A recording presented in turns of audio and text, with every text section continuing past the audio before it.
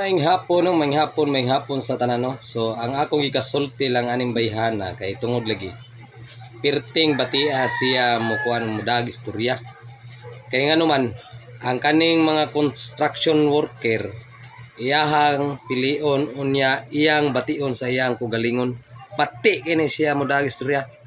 Wa siya magtan-aw siya dagway kung dili pa siya puti ang iyang inaong intawon murag ka ng bakis pagong nag, nagpatong gani. Galapad lang ang naong prugaba.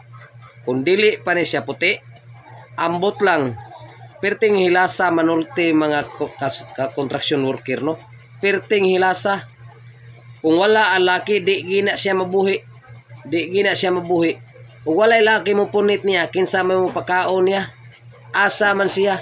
Perting batia manulti. Mo na karon. Di gi ka masikat day bisag asa pa kaday di ka angay papuson sa social media. Kay bati kay na imuhang gibuhat. Dili ka ganahan kuno og construction worker. Oy prugaba wa ka magtan-aw na imong ilong. Nga dako pas planggana ng imong ilong. Napay imong naong. Sus ako usa ko ka trabahante no? Construction worker. Pero dako kay kong pagsaway anang bayhana wa mauwaw siyang gibuhat. Wa siya mauwaw. Mao na nga dili na siya angay tan-awon ang iyang mga video ug na siya angay papuson. Kay bati ka na gibuhat day. Wa uroy ka mauwaw sa imong gipanulti day.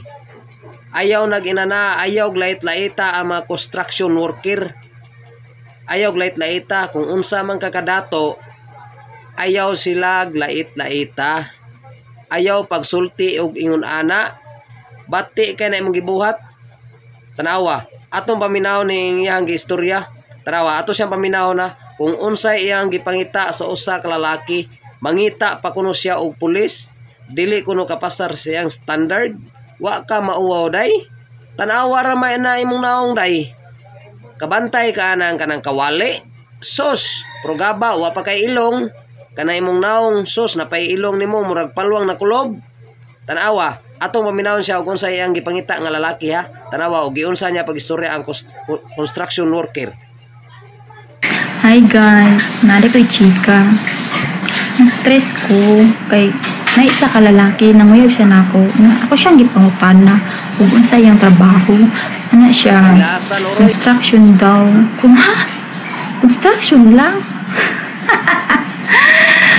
Wa ka naglantaw, wa ka naghuna-huna. Kaning dagwaya ni padulong rag construction. Uy, mga construction, paminaw. Kabalo mo nga akong ginapili. Like kanang pulis seaman tapos gwapo tapos macho puti tangkad na tanan ang sarap man ang construction pud. Uy nga ultimo ra uy di jud na ko deserve. Busa kamong mga construction ayaw na ayaw pagtuga-tuga manguyab na ako